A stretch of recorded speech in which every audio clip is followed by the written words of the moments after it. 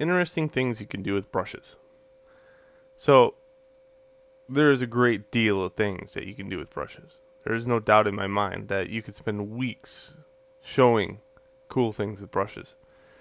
I just want to show you this one and you can show and you can use it to your advantage to kind of work out whatever I, assignment I give you. Okay, because I'm going to say, you know, in that assignment, probably do some very interesting things with brushes. But you don't, you can't do this one more than once in that assignment. So what I have here is a picture, and I'll show you a good place to get pictures that are open source for students. Um, what I do is I go out uh, quite often and take a lot of shots and what I do is I upload those shots to houseoftutorials.net slash the flea market.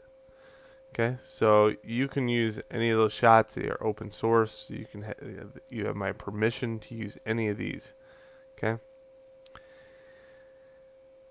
So, and these are taken at several museums. Um, they allow cameras in, so I just take some pictures of sculptures and mainly sculptures because I like how the light bounces off of them. And what this this is is it usually is a thing where we use this in senior pictures. When we take senior pictures as a photographer. Uh, you have this background, and you can take and eliminate the background and uh, make it all grungy, and then eliminate the the outside edge of this and make it all grungy.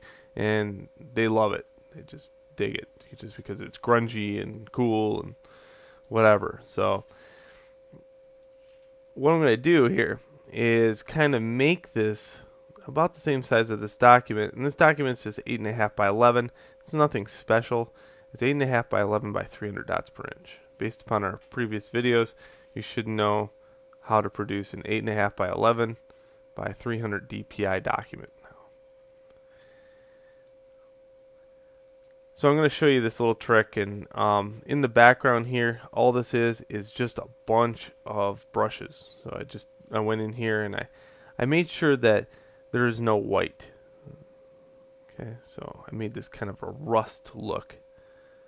And all I did was take several different kind of brushes and I put out a bunch of brushes. That's one of the things that you got to do as a student. Then, what I want to do is kind of put focus on the picture. By the way, I stole the colors away from the picture. Okay, and I use the Alt button to do that. So I can Alt, click, Alt, and then switch this over, Alt, click, and then I get two separate colors right here. And I, I can use X on the keyboard to switch between them. X is in Xavier. So to pay more attention to the picture, what happens is if you blur Gaussian blur the background, the human eye can't stand to look at something blurry, but loves to look at something sharp. So if you want to blur that out just a little bit, you notice I instantly see the sharp edges of the picture. Just because my mind can't formulate what is in the background. It's interesting but I don't know what it is, therefore I'm not going to pay as much attention to it. Okay, now I'll show you this. This is the pen tool. And the pen tool is great. You just have to make sure it's on this setting right here so it just makes the path. And all the time I get the same problem. How do I make a straight line in Photoshop using a brush? So there's several ways to do that. You can like click on a brush and then hold shift and it'll make a straight line going across. That's one way to do it. The pen tool, however, allows me to control that. Say if I wanted to go all the way around this picture. So what I do is I hold shift and I click on every corner here.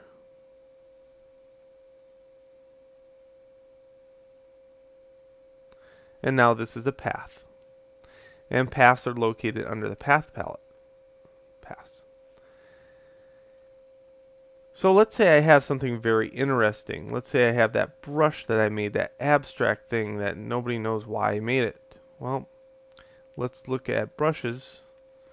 And I have this. That's pretty interesting. But what if I take it and turn on angle jitter? It becomes a lot more interesting.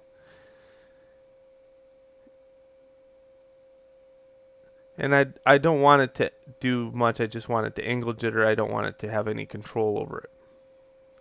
Okay. So, another thing we could look at is the spacing between it.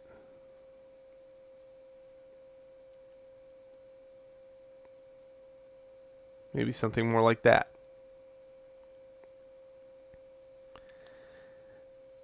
And what happens is this outside edge is a path and what I can do is I can be on a layer and click this button.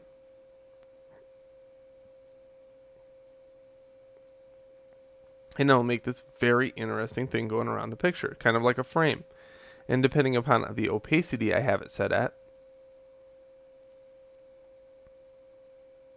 it does that. Now that's one way to do it. That's a very grungy, cool thing to do. But um, here's another way to do it.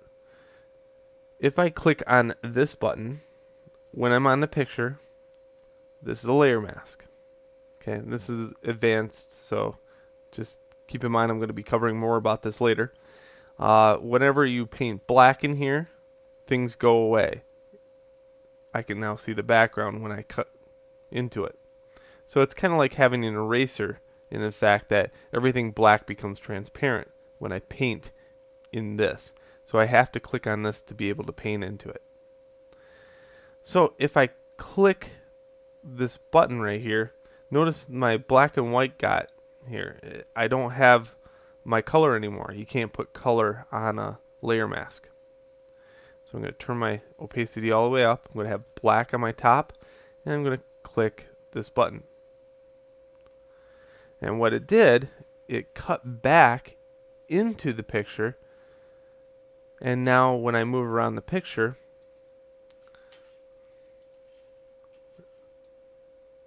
you notice it's floating, but it's transparent. So it's taking and kind of blending the blurry stuff into the picture, making a very cool kind of effect of depth because now I have these very blurry edges and they are leading into the picture. To further out the effect, if I wanted to, because these have very sharp edges in this point, um, I'm almost paying attention to this point right here and not the picture. So I got blurry to sharp to sharp again. So if I wanted to, I can also blur this out a little bit. So make sure you click on this and filter blur, Gaussian blur. And I don't want to blur it out all the way. I just want to blur it out to the point where it's not very interesting to look at.